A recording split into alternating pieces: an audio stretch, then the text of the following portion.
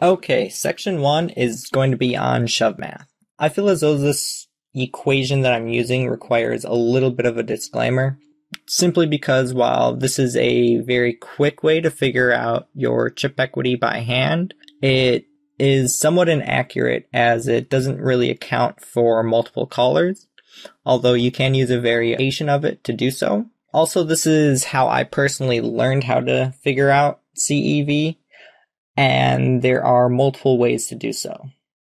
Uh, so if you don't really like this equation, you can try to find something else that works better for you, but I've found this one to be very simple and easy to teach my students and explain well. So the equation is fold equity plus called equity equals hand equity, where fold equity is the percent everyone folds times the blinds and antes. Pretty simple and straightforward.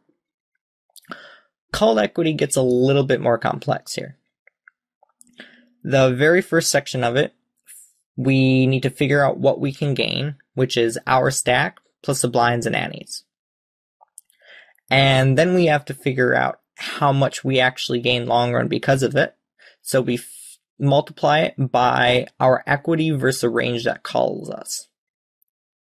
Now the second little section of it we figure out what we can lose, which is our stack times villain's equity, how their range does against our hand.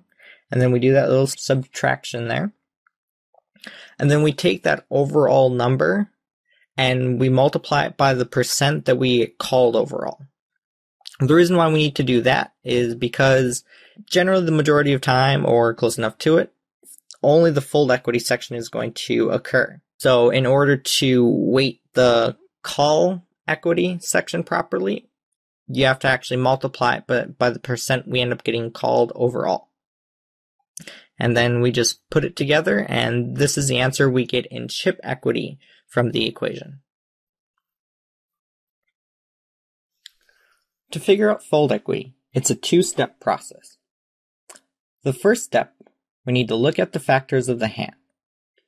Those factors include how many big blinds deep effective are we? What do the blinds and antes equal up to? How many people are there left to act?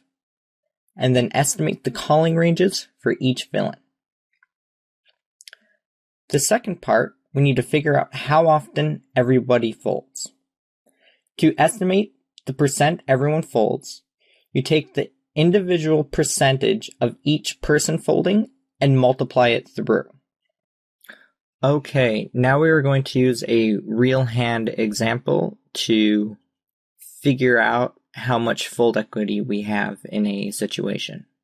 Uh, the situation we are looking at, we have queen 10 off deep in the hot 44. This is with around 18 people left or so. We are 15 big blinds effective with the blinds and antes totaling 36,750.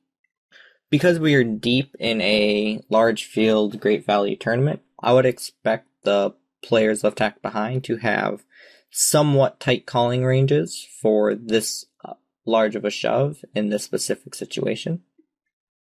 So I would give the button a calling range of around this, which is sixes plus, king queen suited, and ace 10 plus.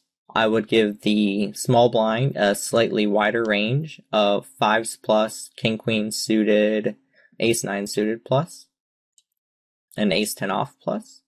And then I would give the big blind slightly wider range of around 14% being fours plus, king 10 suited, king jack off, ace 9 off plus, and ace 8 suited plus.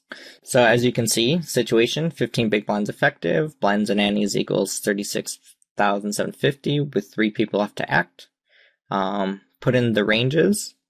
So if button is calling us 9.2%, this means button folds 90.8%. So small blind folds 90%, and big blind folds 86%. So if you multiply it through, everyone folds overall 70.3%.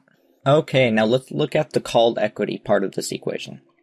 For the first step, we have to look at what we can gain. Generally, what we can gain is our stack plus blinds and antes. Although, in cases which there are stacks uh, multiple stacks shorter than us, we can try to take the average of the stacks behind to figure out what we can gain and risk in general.